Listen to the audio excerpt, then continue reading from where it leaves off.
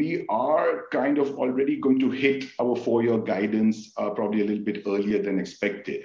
Uh, if you just extrapolate the numbers that we have kind of shown this quarter into four, uh, you will see that we are very close to the number that we had guided for in 2024, right? So we are already way ahead of our plan.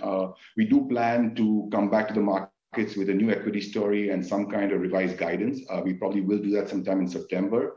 The focus right now, like I said, remains on, you know, extracting synergies, working together as a group, and really leveraging our global brand and, you know, multiple manufacturing locations to really give the best solution to our customers. बात हो गई आपकी GMM Pfaudler की, but coming back, Sun Pharma space का जो सबसे बड़ा capital good company है, वो है GMM Pfaudler. वो भी आपने हमने सुबह आपको बताया था कि result बहुत शानदार रहे हैं.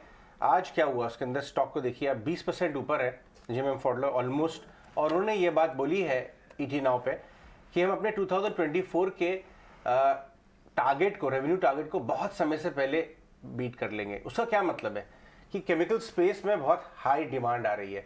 क्योंकि जो ब्रॉयलर बनते हैं, किसी भी केमिकल में, किसी प्लांट में ब्रॉयलर होता है, वो जिम एम फॉर्डलर करता है। ऑलमोस्ट मोनोपली है इनकी, उन केमिकल ब्रॉयलर्स में।